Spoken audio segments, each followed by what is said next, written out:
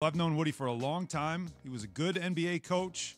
Wanted to get back in the game. He wanted to be a head coach again. Saw his alma mater needed it, as we we talked about this, Jay. Yes. That IU is not what IU used to be. It just doesn't have the same cachet.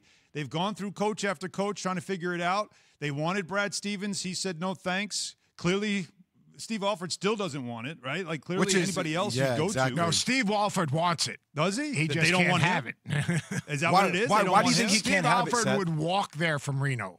Why do you think he can't have it? Why do you think they won't? I don't think he, you know, I think there's a segment of the Indiana community that obviously is either rubbed the wrong way. I don't know if it's what happened at Iowa. Um, you know, S- Steve's a great guy. He's been very, very nice to me, but it, there, there's people that feel like he rubs, the, you know, he's a little bit aloof, uh, which is crazy because, I mean, he was obviously the golden ball. So, See, this is crazy for myself. My my wife is from Carmel, Indiana, and she went to IU. Her brother went to IU. Her dad went to IU. All I hear about is IU all the time, and it's only misery for me considering my last college basketball game I lost was to IU. Mm. Right? Like it just works out that way. Yeah. But I mean, I, I know did for it to fact- yourself. Yeah, I know. But they were just, God, I love you, Seth. I miss you so much. But like, it, it, it almost like I'm indifferent about Mike Woodson. I know he's a good coach. It's interesting. Thad Matta will become his associate head coach or assistant. Uh, coming over from Ohio State, which is interesting how that works out Big Ten for rivalry, IU. yeah. But I know my father-in-law is not not excited about this because they were looking for the the the, the pop, right? They were looking for somebody to Everybody come always in. wants the next young coach or the headline coach. Now, Mike Woodson's 63 years old, but I've known him personally for a long time. He's he doesn't he's not an old guy. You know, some people you just see them and you're like, wow, he's a little frail. Woody's not like that at all. His personality is still very bold and and a very big personality. Uh, a confident guy. He's six year deal though, a six year deal. So Seth, what what is, what are the challenges for Mike Woodson? Who's really all of his coaching experience has been in the NBA as a head coach, as an assistant coach with the Clippers a long time. He was with the Knicks this year as an assistant. His best years really were coaching the Knicks, uh, also coaching the Hawks. A lot of development in his background as well, and he knows the modern game. But but what would be the challenges then? Like like Jay just said. There isn't a lot of excitement about this hire, but he is an alum. He does come in there with he cares a lot, and he's got the NBA connection.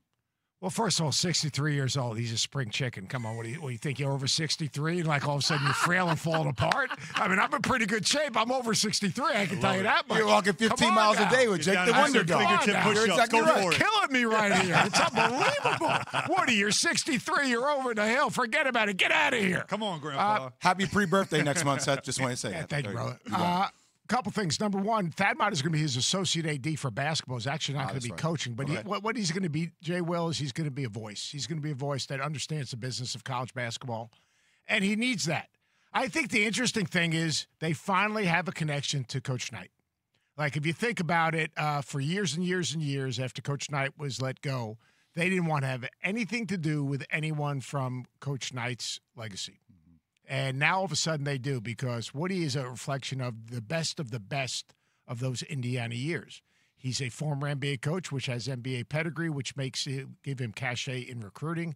He needs uh, is going to be a piece of cake. I mean, he, he's a world class coach. Agreed. And that's just the way it is. He's a world class teacher. Now, what is he going to need to do?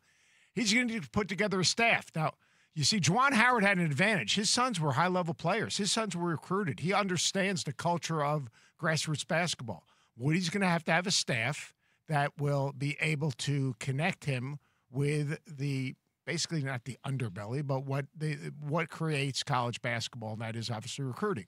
So he needs to hire the right staff. He needs to hire probably. I think he'll reti- uh, hire a former uh, or current NBA skills guy to do player development. I think that would be a smart move. I, I thought Juwan did a great job. I think he'll hire a former coach uh, that has ties to Indiana. Uh, that will help him continue to navigate, you know, basically the culture of college basketball and what it's all about. But in terms of coaching, he'll be. I mean, the guy's a terrific coach.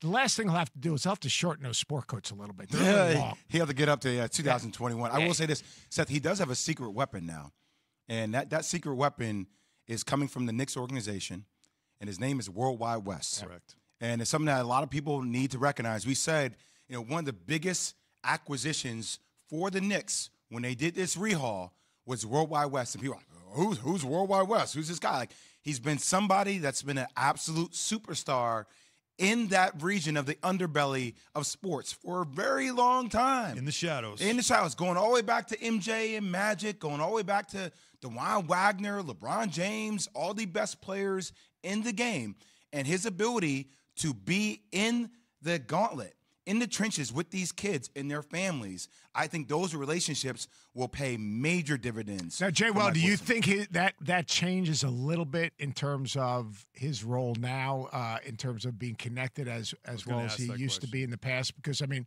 Look, I, obviously, I knew Worldwide Wes when he was a student at Camden High School. We had Billy Culberson, who played for me at Pitt. Mm. Uh, he went to school with him, and, and Wes is a great dude, and he is connected. He's just likable.